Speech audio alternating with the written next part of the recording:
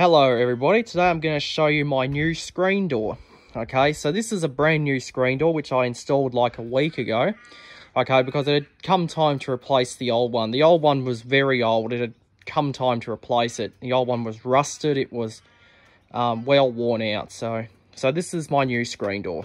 I actually got two of these, one for the front and one for the back as well. So I'll show you the back one, but I'm just going to show you the front one right now. Okay, so this door here I got from Bunnings and I actually had it delivered to the house. Okay, and the same applied for the other one. So this door here cost $220, okay, plus the postage, which unfortunately wasn't free, which is annoying, but but there you go. But this is the door here, okay. So I'll take a closer look at it. As you can see, this door here has this nice um, guard in it, okay. So these are referred to as security screen doors or um, Crimsafe probably. Okay, it's got a fly screen in here. Okay, that's just to stop flies from getting in. Okay, it's got this nice white frame. Okay. All right, now the door did not come with a lock, but that's not a problem because I had the lock from my old door, which is, this is a Whitco Tasman MK2. Okay, which I had on the old door and I just transferred it to this new one. Okay, another thing that I did with this as well is I um, put three-point locking on it, as you can see. It's got a top and bottom lock. Okay, now you might remember the video that I did on the Whitco Tasman three-point locking kit. Okay, and that's what I and that's what I bought that for. Okay, so um, so when this is locked, the top and bottom part lock into the frame up here and down there, and that gives it extra security.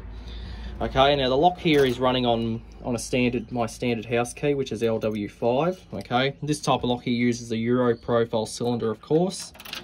Okay, so this is the MK2 Tasman made by Whitco. All right, so um, so right now it's in the unlocked position, so you can turn the handles and you can go into the house. Okay, to lock the lock, okay, every time you turn this key, the bottom part protrudes and the top part protrudes. Okay, I'll unlock it, it retracts, protrudes. Okay, I'll show you the bottom one there. So, unlocked, locked. Okay, now be aware that it only locks when you actually key lock it. If you turn the snib, like this, the latches don't protrude. Okay, they stay retracted when you use the snib. Okay, the only way to get them to extend is to actually key lock it and deadlock it. Okay, so when it is key locked, the lock is deadlocked. Okay, so that means the snib becomes rigid and you can't can't um, unlock it. You actually have to have a key to unlock it. Okay. All right, so um, so we'll close this. Okay, I'm to lock it. Okay, so now the door is locked. Okay, the top latch is locked into the frame and the bottom one is locked in too. Okay, as well as the latch in the middle. Okay, so the door is now locked. Okay, when that is locked, this prevents people from trying to pull the door open or force it. So it gives it more more strength. And also you got three hinges as well. So it's hinged in the on the top, middle and bottom of the door. All right.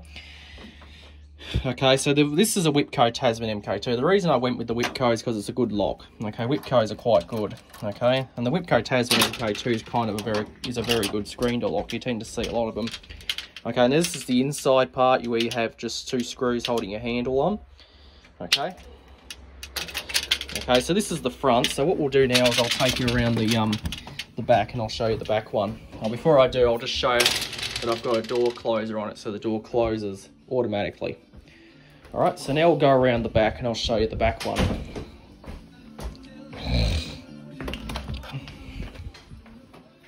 Okay, I'll unlock the back door. And I did switch the locks around in here as well. Okay, so here's the one on the back door. It's uh, Once again, it's the same thing, okay?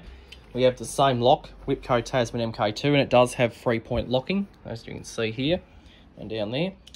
Okay, so um, so this is the one on the back.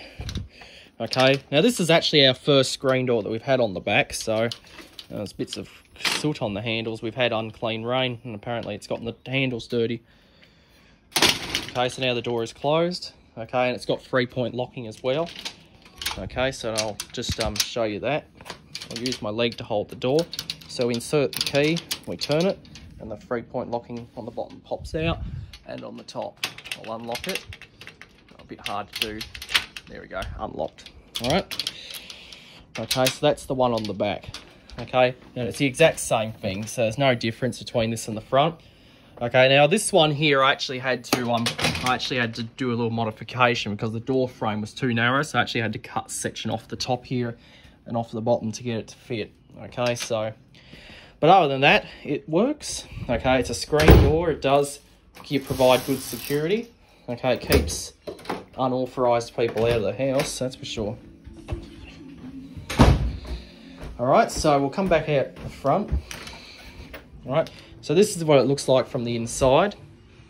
Okay, and um, and so on the inside here, I can simply just snib it to lock it.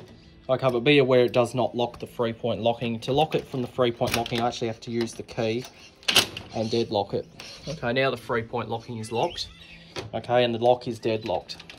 Okay, to unlock it, I just need to turn the key the other way. Okay, now it's unlocked. Okay, so there you go. So I'll give you a look at the lock here as well. Okay, so that's the MK2 Tasman made by Whitco. The top lock there and the bottom. Okay, so that's basically it. So that is my my new screen door. So I hope you enjoyed and that'll be it.